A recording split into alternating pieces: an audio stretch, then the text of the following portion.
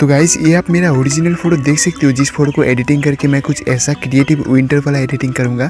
तो ये एडिटिंग मैंने कैसे किया, आप इसको देखते रहो। ये वाला जो बैकग्राउंड है, इसको मैं यूज़ करने वाला हूँ। आपको इसका लिंक डिस्क्रिप्शन के अंदर मिल जाएगा। लेकिन वीडियो के एंड में इन सारे स्टॉक इमेजेस को डाउनलोड कर लेना। सबसे पहले इसको मैं ओपन करूँगा मेरे पिक्सर ऐप के अंदर। पिक्सर ऐप में यहाँ पे मैं सबसे पहले ऐड फ़ोटो में चलता हूँ। तो गाइज़ मेरा जो फ़ोटो है, उसको मैं थोड़ा सा क्रॉप करके यहाँ पे मेरा जो कार्ड आउट है, वो मैंने पहले से यहाँ पे निकाल के रखा है। आपको तो बैकग्राउंड इरेज करना आता ही होगा। अगर आपको नहीं आता है तो आप आई बटन यहाँ पे डिस्क्रिप्शन चेक कर सकते हो। बैकग्राउंड कैसे इरेज करते हैं face smooth and hair editing कैसे करते हैं, उसका वीडियो में वहाँ पर डेडिकेटेड बना के रखा हूँ, ठीक है?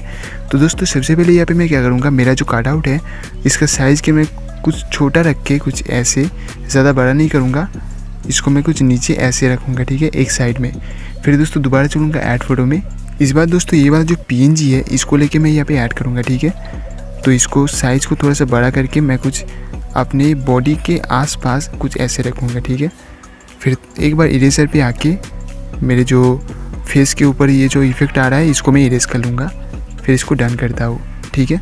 इसको मैं अभी ऊपर से डन कर लेता हूँ। तो गाइज़ देखो ये कितना सिंपल सा है ना? आपको बस बैकग्राउंड को यहाँ पे इरेज करना होगा, जो कि बहुत ही ईजी है।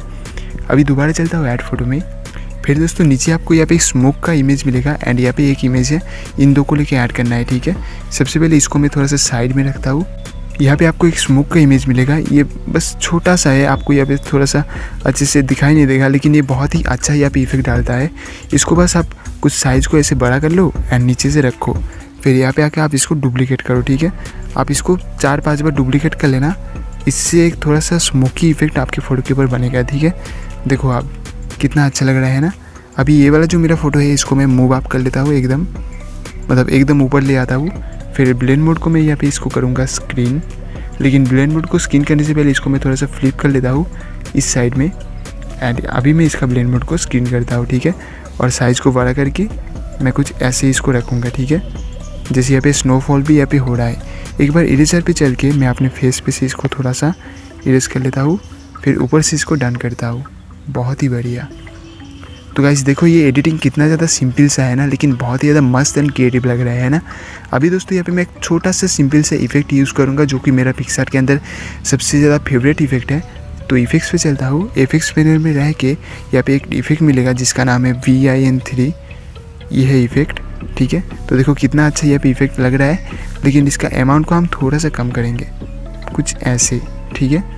अभी मैं इसको मर्ज कर लेता हूँ। अब मर्ज करने के बाद इस फ़ोटो में मैं थोड़ा सा शार्पनिंग ऐड करूँगा। शार्पनिंग ऐड करने के से, ऐड करने के बाद ना बहुत ही अच्छा लगता है। तो थोड़ा सा शार्पनिंग पे जाके सेटिंग को मैं कुछ ऐसे रखता हूँ, ठीक है? अभी देखो ये फ़ोटो बहुत ही ज़्यादा मस्त लग रहा है। चलो हम इसको ऊपर से डान कर लेते हैं। बहुत ही बढ़िया। तो गाइज़ इस फ़ोटो को मैं अभी यहाँ तक ही रखता हूँ। मैं आगे कोई इफ़ेक्ट और कोई पी अभी ऐड नहीं करूँगा। लेकिन आप चाहो तो आप कुछ कर सकते हो। अगर आपको कुछ अच्छा लगे, जैसे कि आप लाइट रूम ऐप के अंदर रिटचिंग कर सकते हो स्नैपचैट ऐप के अंदर अगर आप चाहो तो फेस को ग्लो कर सकते हो फेस को स्मूथ कर सकते हो, या फिर और भी बहुत सारे चेंजेस है जो कि आप कर सकते हो, ठीक है? तो यहाँ पे तो मैंने आपको जितने सारे बैकग्राउंड्स है, जितने सारे स्टॉक है, मैं डिस्क्रिप्शन के अंदर दे चुका हूँ। आप इसको जाकर डाउनलोड करो। एंड दोस्तों, आप भी जाओ, अपने फ़ोटो के ऐसे एडिटिंग करो। बहुत ही सिंपल है बैकग्राउंड इरेज करो, फिर जितने सारे स्टॉक इमेज है उनको यूज़ करो, एक छोटा सा इफ़ेक्ट ऐड करो, फिर देखना आपका भी फ़ोटो ऐसे बन के तैयार हो जाएगा, ठीक है? तो दोस्तों, आपको ये वीडियो कैसा लगा नीचे आप लाइक करके बता देना। शेयर करना इस वीडियो को अपने सभी दोस्तों के साथ। और अगर आप इस चैनल पर नए आए हो तो चैनल को भी सब्सक्राइब करने के साथ ही पास में जो बेलाइकन है, उसको भी प्रेस करना। तो guys thank you so much for watching और मैं मिलता अगले वीडियो के अंदर। तब तक के लिए कीप सपोर्टिंग दोस्तों एंड कीप क्रिएटिंग एंड धन्यवाद।